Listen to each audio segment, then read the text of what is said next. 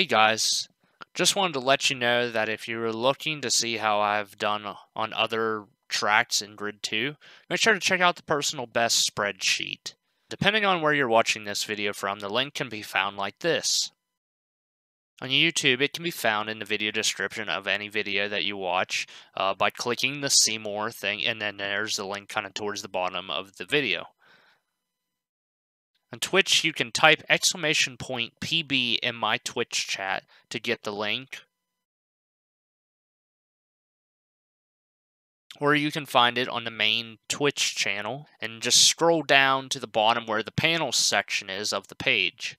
And then there's the link. When you get to the spreadsheet, you're going to start off on this screen, unless I change it, of course, later on. At the bottom, you have the option of selecting which race type you want to see.